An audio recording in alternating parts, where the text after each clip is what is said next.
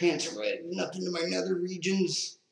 Guys, can we get some air over here? It's way too hot. I don't want to be all sweaty on camera. What are we gonna? We ain't got a fan. It's making me mud. Well, I just we just need to fan my balls real quick.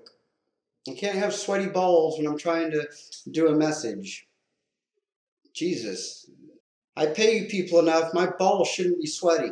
Making me. Borderline personality disorder.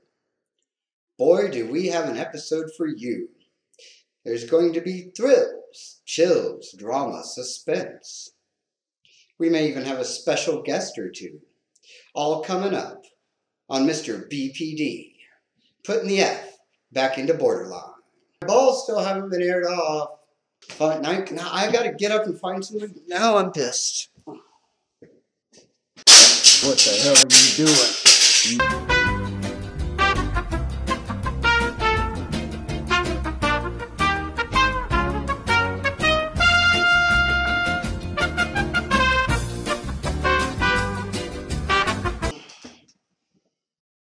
Much better. Having your genitalia on the outside instead of the inside is really a major inconvenience. You women folk have it nice. All of your plumbing is internal. Very self contained, made to go places. Take it anywhere. Great, right? Yeah, if you're a woman, it's great. It's perfect. Pants are horrible. Pants were designed by men, I'm sure, because men designed everything because women don't have the smarts to do it or the ambition. Oh, come on. You know I joke. I joke. Take your junk and just start squeezing them and trying to compact them into some kind of paste, I think. It's not the pants' fault, really. There's no room for the junk built into the pants. Men's pants need to be designed where there's extra room in the crotch area. This would be great. A dome for your junk. Put on your pants, but your junk is nice and secure in this dome type thing built into the pants, okay? Gets better. This material, this dome is built out of the same stuff like you would want to use if somebody was going to take a sledgehammer to your junk. Want to be a real asshole, you could kick a guy in the junk. We would have protection. Why don't we protect our junk? There's no protection whatsoever. If you want these pants, if men out there, if you want these pants, here's what you can do. I will make them. I will. I'll make them. It's going to it's going to cost money though.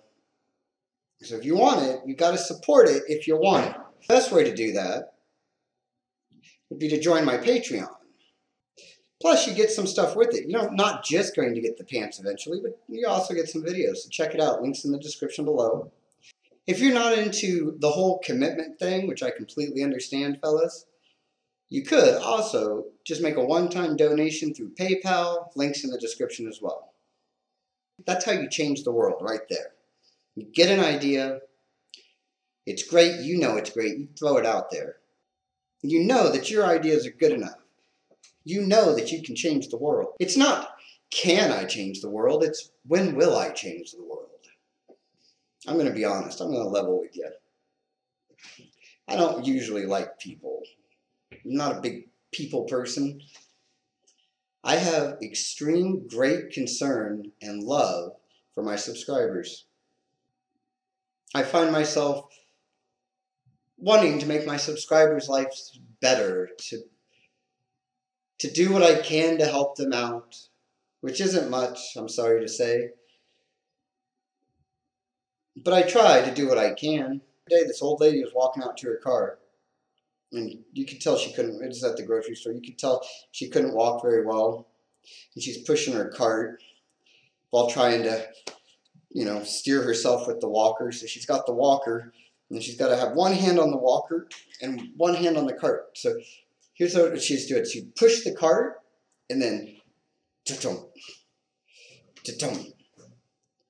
Push the cart, ta-tum, ta-tum. Who am I to just walk past an old lady who's in obvious need of some assistance? I stopped. I'm like, ma'am, do you need a hand? Would you like me to push that cart for you? Maybe put the groceries into your car? And she's like, yes, yes, I would love that. Could you? Thank you, thank you. And she's thanking me and she's so happy. And, and I, have got to stop. I'm like, uh, hold on. Uh, just one question. Do you subscribe to Mr. BPD? Looks at me all confused. Huh? I'm like, sorry, I, I can't help you. And I walked off. When I was walking by her, though, I thought she might be a subscriber. And there's no way I'm going to let a subscriber go through that. You can hit that subscribe button and it opens up a whole world of opportunities for you.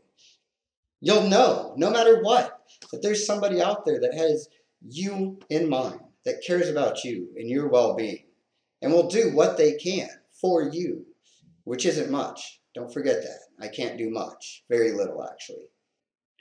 If you're pushing a cart with a walker, I might put your groceries away. Hey, it's better than you get with a lot of YouTube channels, so hit that subscribe button. We are halfway to our 1,000 subscriber goal. That gives us an opportunity to shake things up, bring fun into BPD. Know, Mr. BPD, bringing the fun to borderline personality disorder.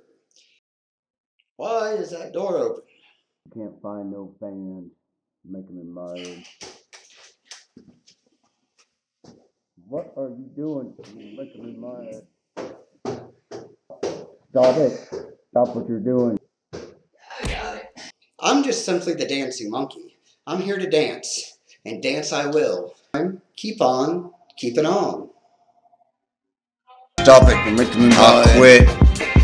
What the hell are you doing?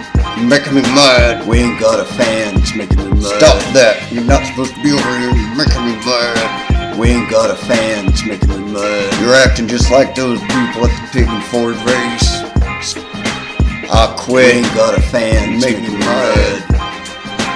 I quit. You make me mad. Make me mad. You can't find no fans. Making me mad. Stop. Stop it. Stop what you're doing.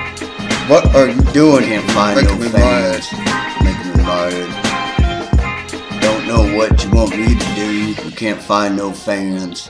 You're Making gonna me make me mad. It's making me mad. You're making me mad. We ain't got a fan. It's making me mad. You make me mad. I'm getting so mad. We ain't got a fan. It Makes me mad.